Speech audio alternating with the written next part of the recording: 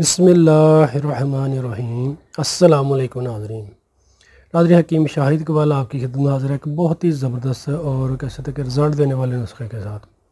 اس کی میں نے پہلے ہی ویڈیو بنائی تھی یعنی کہ ایک نسخہ ہو، آپ اس کے کیسے تک اس نسخہ کے استعمال سے بہت سے فائدے لے سکتے ہیں۔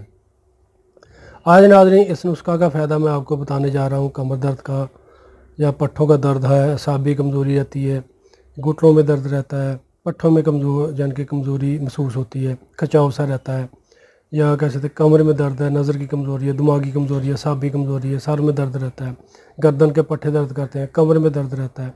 اس نسخہ کے استعمال سے انشاءاللہ انشاءاللہ آپ کو شفا ملے گی۔ کہہ سکتے کہ یہ ایک جنرل ٹونک ہے، اس کو لازمی استعمال کرتے رہنا چاہیے۔ یا ایسے افراد جو آفس کا کام کرتے ہیں یا کمپیوٹر پہ کام کرتے ہیں یا پڑھنے والے بچے ہیں، وہ لازمی اس کو استعمال کریں اور فائدہ اٹھائیں۔ ناظرین نسخہ آپ نوٹ کر لیں یہ ہے سونف سونف کو آپ نے ہلکا سا براؤن کر کے یعنی کہ توے پر براؤن کریں اس کو فوری طور پر کوٹ لیں کوٹنے کے بعد اس کا جو چھلکا وہ علیحدہ ہو جائے گا وہ آپ نے استعمال کرنا ہے یعنی کہ آپ کی جو اس کی اندرونی ہے مغز کہہ سکتے جو چاول ہے وہ آپ نے استعمال کرنے ہیں چھلکا اس کو ضائع کر دینا ہے سو گرام آپ نے یہ سونف لینی ہے ایک پاؤ دیسی بادام کی گری لینی ہے یعنی کہ دیسی بادام آپ نے خود لے کر اس کی گری نکال کر وہ استعمال کرنی ہے سو گرام ناظرین جی، آپ نے خشخاش لینی ہے۔ سو گرام آپ نے لینے مغز چہار۔ آدھا کلو آپ نے بنے ہوئے سیاہ چنے لینے ہیں۔ چنوں کا آپ نے چھلکا وغیرہ اتار دینا، اس طریقے کے چنے استعمال کرنے ہیں۔ پہلے ناظرین جی آپ چنے اور سونف اس کو دونوں کو باریک پیس لینا ہے۔ ان کو باریک پیسنے کے بعد باقی جو تین چیزیں ہیں، بادام کی گری خشخاش ہے یا مغز چہار ہے، وہ آپ نے اس میں یعنی کہ کیسے ڈال کر پھر اس کو باریک پیس لینا ہے۔ اس میں آپ حسب ضرورت ہے، یا حسب ذائقہ کہہ سکتے ہیں کہ کوزہ مصری بھی ڈال سکتے ہیں، یا سو گرام کوزہ مصری ڈال لیں۔ نہ بھی ڈالیں کو مشکل نہیں ہے۔ جو شوگر والے مریض ہیں، وہ تو کوزہ مصری وغیرہ استعمال نہ کریں۔ ناظرین اس کو باریک پیسنے کے بعد محفوظ کر لیں۔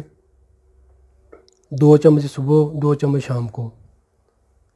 خالی میدا دودھ کے ساتھ استعمال کریں۔ یعنی کہ نیم گرم دودھ ہونا چاہیے اس کے ساتھ۔ یعنی کہ ایک سے دو چمچ صبح، ایک سے دو چمچ شام کو خالی میدا، نیم گرم دودھ کے ساتھ کھائیں۔ اور جو چھوٹے بچے ہیں، آپ ان کو ایک سے لے کر آدھا چمچ تک استعمال کروائیں۔ اس نسخہ کا کوئی بھی نقصان نہیں ہے، کوئی بھی سائیڈ افیکٹ نہیں ہے، اس کو استعمال کرتے رہا کریں۔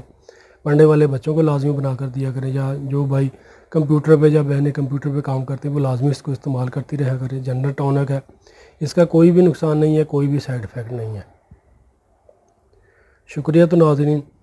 پانچ وقت کی نماز پابندی کے ساتھ پڑھا کرے توبہ، استغفار کیا کرے انشاءاللہ اللہ پاک زندگی میں آپ کے لیے آسانیاں پیدا کرنے کے اور آخرت میں بھی۔